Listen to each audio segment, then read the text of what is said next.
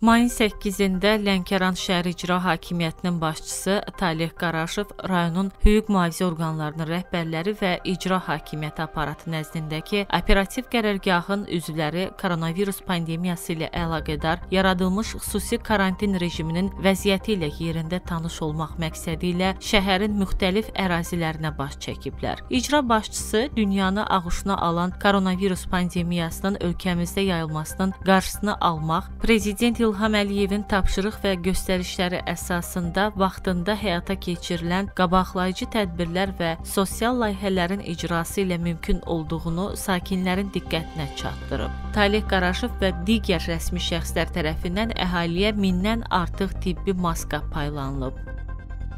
Daxili İşlər Nazirliyinin tapşırıq və tövsiyələri bölgələrdə rayon polis şöbələri tərəfindən uğurla həyata keçirilir. Reportun Yuxarı Şirvan bürosu xəbər verir ki, polislər vətəndaşların maarifləndirilməsi üçün profilaktik söhbətlər apararaq rayon ərazisində yerləşən poçt məntəqələrinin, bankların, idarə və müəssisələrin qarşısında yaranan insan sıxlığında sosial məsafənin təmin olunmasına nəzarət edərək insanlara tibbi maska və əlcəkdən istifadə istifadə etməyi tövsiyə ediblər. Bundan başqa polislər vətəndaşlara tibbi maska və əlcəklər paylayıblar.